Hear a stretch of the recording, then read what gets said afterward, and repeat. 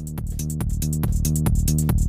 うんうん。 สวัสดีค่ะเพื่อนๆ เกดนะคะ วันนี้พบกับ YouTube ทิปก่อนนอนนะคะ ก็ไม่ได้มา YouTube ทิปก่อนนอนหลายคืนแล้วนะคะ วันนี้นะคะเกดจะมาพูดเร็วๆ ไวๆนะคะ กับประเด็นเรื่องของท่านที่เริ่มทำ YouTube ใหม่ๆ แบบมาทำปีนี้นะคะ ปี 18 แล้วก็มาทำตอนนี้นะคะ แล้วก็มีความกังวลนะคะว่า YouTube ยังคงเป็นแหล่งรายได้หรือเปล่าหรือว่า เรายังจะมีโอกาสที่จะสร้างรายได้จาก YouTube หรือเปล่านะคะะเรารู้สึกไปเองว่าการทำ YouTube ปีนี้ มันค่อนข้างจะยากพอสมควรเออใช้คำว่ายากเลยแหละ เพราะว่าเราจะต้องผ่านเกณฑ์นะคะอย่างแรกเลยนะคะ คุณจะต้องผ่านเกณฑ์ก่อนนะคะ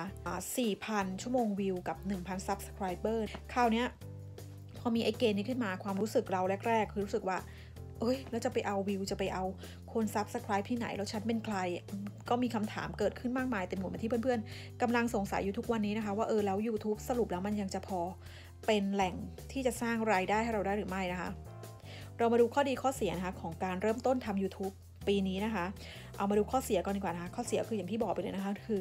มันยากขึ้นนั่นเองค่ะ ที่เราจะมีสิทธิ์นะคะ เปิดรับรายได้นะคะ คือแต่ก่อนก็คือลงคลิปปุ๊บนะคะ ก็รับรายได้ได้เลย ถ้าเกิดมีโฆษณามาลง แต่ตอนนี้นะคะ ก็คือลงคลิปปุ๊บเนี่ย เราจะต้องผ่านเกณฑ์ก่อน พอผ่านเกณฑ์ปุ๊บเนี่ย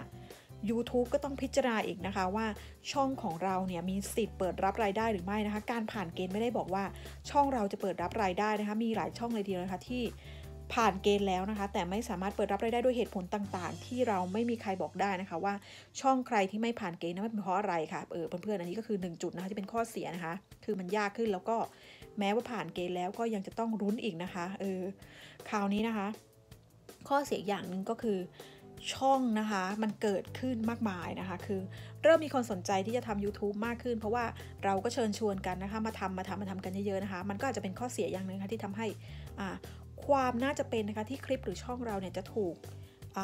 แนะนำหรือว่าถูกขึ้นอันดับของ YouTube ให้เขาเป็น recommend คลิปเราเนี่ย ก็คืออาจจะยากขึ้นเพราะว่าเราเป็นช่องน้องใหม่นะคะ ข้อเสียก็คือแบบนี้ค่ะ คือช่องที่มาใหม่ๆเนี่ยนะคะ ก็อาจจะถูกจำกัดการมองเห็นนะคะ ให้น้อยหรือว่าน่าสนใจน้อยกว่าช่องที่เขามีคนดูเยอะๆ หรือว่ามีฐานแฟนคลับที่แบบลงคลิปไปแล้วปุ๊บนะคะ ก็ติดเลยนั่นเองค่ะเพื่อนๆส่วนข้อดีนะคะเพื่อนๆที่เมื่อมันมี กฎเกณฑ์ที่ค่อนข้างจะสตริกและค่อนข้างจะยากลำบากนิดนึงนะคะในการที่จะผ่านเกณฑ์เพื่อรับรายได้ มันเหมือนเป็นตัวคัดกรองอย่างหนึ่งนะคะที่จะทำให้ช่องของเรานะคะถูกจัดอันดับนะคะว่าอยู่ในช่องที่มีคุณภาพ เออไม่ได้หมายความว่าเพื่อนที่ไม่ผ่านเกณฑ์ไม่มีคุณภาพนะคะเพียงแต่ว่าเขาวัดกันที่เขากดเกณฑ์ไว้ได้เลยนะคะ ก็คือช่องเรามีคุณภาพมากพอที่คอนเทนต์นะคะจะถูกนำไป recommend นั่นเองนะคะ เป็นคลิปแนะนำนะคะ แล้วจะทำให้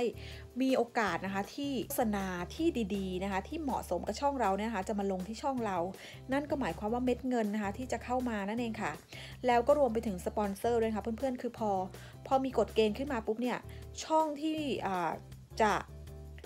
มีสิทธิ์เอาง่ายใช้คำว่ามีโอกาสได้รับพิจารณาให้สปอนเซอร์เข้าหรือว่าสปอนเซอร์เขาสนใจที่จะมาใช้บริการช่องเราเป็น อินฟลูเอนเซอร์นะคะ ก็มีโอกาสมากขึ้นนั่นเองค่ะ เออ แต่ว่าอย่างที่บอกนะคะว่าความยากของมันจุดแรกก็คือเราจะต้องผ่านเกณฑ์ให้ได้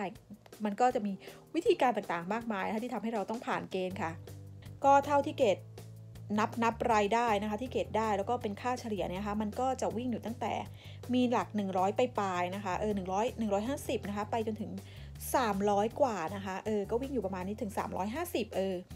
นะคะ ก็แปลว่าก็ยังได้รับรายได้อยู่ประมาณนี้นะคะ นั่นก็แปลว่าแอบคิดไปเองนะคะ เออประมาณว่า ถ้าทุกวันนี้นะคะ เกดหยุดทำคลิปนะคะ เกดก็อาจจะยังมีรายได้ที่อยู่ประมาณนี้วิ่งอยู่ประมาณนี้ ถ้าเราพอใจแล้วก็แบบขี้เกียจจะทำช่องต่อแล้ว เราก็อาจจะได้อยู่แค่นี้ค่ะเพื่อนๆก็เลยคิดว่าเออมันก็ยังเป็น ยังไงอะข้อดีอย่างหนึ่งแล้วกันนะคะ ถ้าเกิดว่าเรามีความสามารถในการทำให้ช่องเราผ่านเกณฑ์ได้แล้วค่ะเออเพื่อนๆ คราวนี้นะคะ ก็เป็นหน้าที่ของเรานะคะที่จะผลิตคอนเทนต์ที่ดีออกมานะคะเราเทคนิคการทำคอนเทนต์ของแต่ละคนก็สามารถศึกษาได้จากหลาย ๆ ช่องใหญ่ ๆ นะคะ ที่ตอนนี้เขาก็เราก็ออกมานะคะเขาช่องใหญ่ ๆ ที่เขาดัง ๆ เขาก็ออกมาให้เคล็ดลับความรู้ซึ่งเกณฑ์ไปเรียนไปรู้ไปฟังไปทุกอย่างนะคะ ทุกเกือบทุกช่องเลยทีเดียวที่แบบว่า คนติดตามเยอะๆ แล้วก็เอามาใส่กับคอนเทนต์ที่เรามีในช่องของเราค่ะเพื่อนๆ ก็วันนี้หวังว่านะคะมาไวๆแบบนี้คลิปก่อนนอนนะคะ จะทำให้เพื่อนๆที่ยังมีความสงสัยว่าเออถ้าทำตอนนี้แล้วมันจะได้ไหมอะไรยังไงนะคะ ก็ลองเอาไปคิดกันดูค่ะ เออเราจะได้เอาไปตั้งใจทำการให้ผ่านเกณฑ์นะคะขอให้ทุกคนผ่านเกณฑ์ไวๆนะคะ แล้วก็ได้รับรายได้กันทุกทุกช่องเลยค่ะ วันนี้เกณฑ์ลาทุกท่านไปก่อนนะคะ บ๊ายบาย จุ๊บๆ